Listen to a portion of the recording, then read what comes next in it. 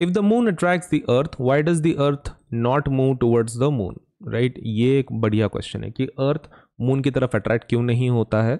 अगर moon uh, अर्थ की तरफ़ मतलब यू नो दोनों का अट्रैक्शन है राइट लेकिन ये लोग क्या बोल रहे हैं कि मून तो अर्थ की वजह से अट्रैक्ट हो जाता है। तो फिर अर्थ मून की वजह से अट्रैक्ट क्यों नहीं होती? मतलब जैसे कि मून अर्थ के गोल गोल घूमते रहता है तो अर्थ क्यों नहीं घूमता है? या फिर अर्थ मून की तरफ़ क्यों नहीं जाता है?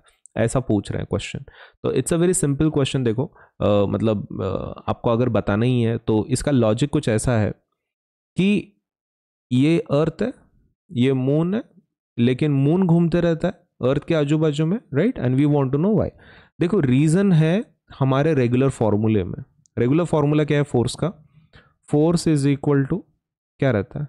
Mass into acceleration force is equal to mass into acceleration correct?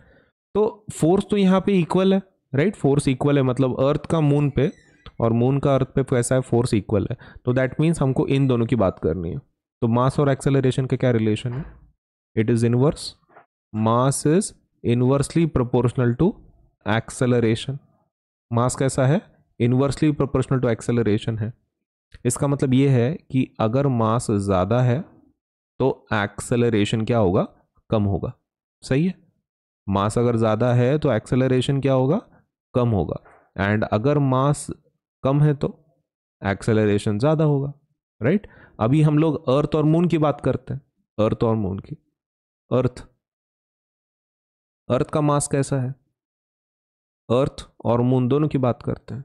So so, अर्थ का कैसा है? Mass is more as compare to home as compare to moon mass ज़्यादा है। तो एक्सेलरेशन कैसे होगा? कम होगा। और मून का? मास इज़ लेस तो एक्सेलरेशन कैसा होगा? ज़्यादा होगा। यही रीज़न है। यही रीज़न है कि मून का एक्सेलरेशन ज़्यादा होने की वजह से वो रिवॉल्व करता है अर्थ के around right but earth doesn't earth करता, अगर अर्थ का मास कम होता तो। तो यही रीज़न आपको लिखना है in explanation let me write it down इसको कैसे लिखेंगे शब्दों में। The moon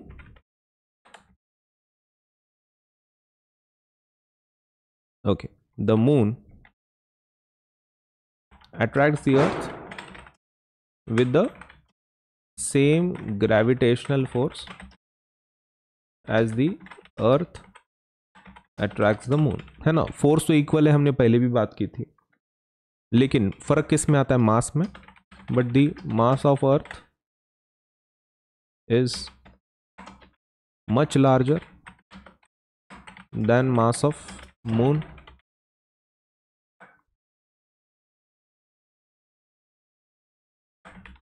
from force is equal to mass into acceleration यहाँ पे आप रीजन लिख सकते हैं मतलब डायरेक्टली पॉइंट लिख दो। Mass is acceleration is acceleration is inversely proportional to mass of the object reason आप लिख सकते हो फॉर्मूला दे सकते हो। Acceleration is inversely proportional to mass of the object तो फॉर अर्थ देखते हैं। For earth mass is more hence acceleration is less for moon mass is less hence acceleration is more right so last में combined reason लिखते हैं। As mass of earth is huge. The acceleration produced is negligible देखो acceleration होता ही नहीं है अर्थ में moon के प्रति ऐसा नहीं है। लेकिन वो एक्सेलरेशन बहुत ही नेग्लिजिबल है। जितना मून के ऊपर एक्सेलरेशन हो रहा है, उसका मास कम होने की वजह से तो इट इज़ क्वाइट विजिबल लेकिन अर्थ के ऊपर का एक्सेलरेशन उतना नहीं है, दिखता नहीं है। सो हम लोग बोल सकते हैं कि acceleration produced is negligible zero है, ऐसा तो नहीं बोल सकते। Therefore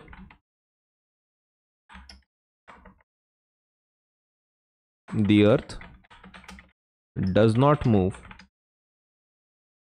towards the moon right तो ये हो गया हमारा कंप्लीट एक्सप्लेनेशन तो ये बाजू का जो है वो आपको समझाने के लिए लिखा था मैंने. ये जो गोल्डन रेड कलर में लिखा है पिंक में लिखा है, ये आपका स्टेटमेंट है. तो ये इसके थ्रू आप ऐसे स्टेप बाय स्टेप आराम से समझा सकते हैं आंसर को.